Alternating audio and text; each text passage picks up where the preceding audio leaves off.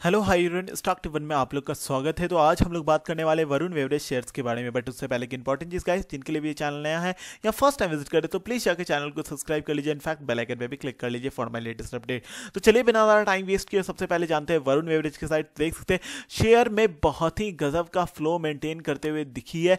यहाँ पे देख सकते हैं, सबसे पहले आप लोग को बता देना चाहूँगा शेयर हुई थी अच्छी खासी ऊपर से ओपन आज के दिन हाई भी बनाते हुए गई वन एंड ओपन हुई थी वन पे। एक अच्छी खासी उसके बाद मेजर डाउनफॉल भी देखने को मिला। हमें वन वन से भी ज़्यादा परसेंट की डाउनफॉल रही है। एंड देन उसके बाद एक अच्छा खासा जंप एंड जंप ऐसा वैसा नहीं मतलब अगर सबसे डाउन पॉइंट से देखें तो यहाँ पे अप्रॉक्स अगर बात करें तो 1.50 का जंप होते हुए दिखा है। इवन फाइव डेज़ पे ध्यान दे तो फाइव डेज़ से भी एक मेजर जंप है। सिक्स की जंप होते हुए दिखी है। तो यहाँ पे बहुत कोई का क्वेश्चन था, क्या वरुण वेवरेज ओवर रेटेड है। ओवर रेटेड नहीं तो बोले तो ओवर कॉस्टली है। तो यहाँ पे मैं हम लोग उस चीज़ के बारे में आज के दिन बात करेंगे बट वन मंथ में देख सकते हैं नाइनटीन परसेंट का रिटर्न बनते हुए दिखा है। एंड हमेशा मैं वरुण वेवरेज को कहीं ना कहीं एक अलग जगह पे पोटेंशियल वाली शेयर्स बताता हूँ। तो यहाँ पे अब उस चीज़ को बहुत अच्छे से जानते हैं कि क्या एंड कैसा मूव रह सकता है आगे के फ्यूचर मार्केट में। सबसे पहले न्यूज़ के साइड बात करें तो न्यूज़ में से उतनी कुछ खास न्यूज़ नहीं आई है।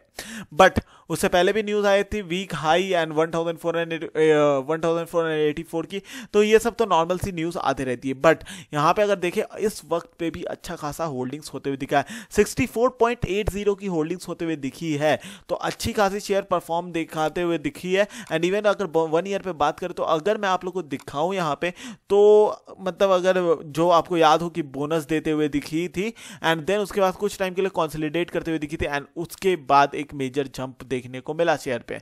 शेयर बहुत ही खतरनाक परफॉर्म करते हुए दिखी एंड हमारा सपोर्ट भी ये एरिया पे बना हुआ था। तो उस सब मतलब ये रेसिस्टेंस एरिया को ब्रेक करते हुए दिखी, ज़्यादा से ज़्यादा कुछ दिन नहीं मतलब अगर बात करें बहुत कम दिन का कॉन्सोलिडेट करते हुए दिखी एंड एक मेजर जंप रहा शेयर्स में।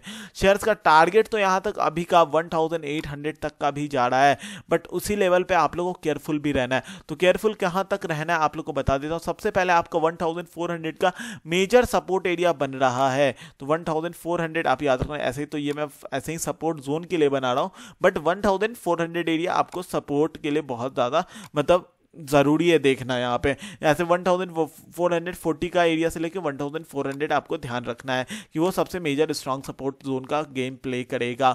एंड देन जंप की बात करें तो 1800 का आपका टारगेट मैंने पहले ही बता दिया है तो आप लोगों को केयरफुल रहना एंड एक अपर ट्रेंड बहुत ही बढ़िया तरीके से अपर ट्रेंड फॉलो करते हुए दिख रही है। तो इस अपर ट्रेंड को अगर बना के रखती है तो, तो हमें ज़्यादा से ज़्यादा कितना दिन मतलब अगर 1800 का हम लोग टारगेट रखते भी है तो तो हमें ज़्यादा से ज़्यादा आपको अप्रैल तक में 1800 तक टच करने का चांसेस बना सकती है। बट ये तो शेयर्स है किसी दिन भी कैसा भी मूव करते हुए दिख जाए। तो यहाँ पे हम लोग जस्ट टारगेट बना के रखे अप्रैल तक में मतलब मार्च एंड तक में आपको टच करने का चांसेस बना सकती है। बट अगर यही ट्रेंड को फॉलो करे, तब अगर नहीं करती है तो देन आपका सपोर्ट एरिया आपको ध्यान रखना है। ऐसे तो मैं सपोर्ट तो रेगुलर वेज में बताते रहता हूँ, उसके लिए कोई दिक्कत की बात नहीं है। आप उसके लिए टेंशन मत लेना। बट एक चीज़ के लिए ज़रूर टेंशन लेना क्योंकि आपको अपडेट नहीं मिल पाएगी जब तक आप इस चैनल को नहीं सब्सक्राइब करोगे। तो इधर उधर कहीं तो रेड कलर का बटन होगा, जाओ जाके क्लिक करो और डेली अपडेट के लिए सबसे पहले चैनल को सब्सक्राइब कर लो। एंड इवन बेल आइकन पे भी क्लिक करना है, तभी मेरी लेटेस्ट अपडेट आपके पास आ पाएगी। Thank you have a nice day guys please subscribe this channel और कुछ भी डाउट हो तो आप कमेंट करके पूछ सकते हैं। And last most important thing guys this video is just for educational purpose तो अगर इन्वेस्ट करने का प्लान कर रहे हो तो एक बार अपने फाइनेंशियल एडवाइजर से ज़रूर बात कर लेना। Thank you have a nice day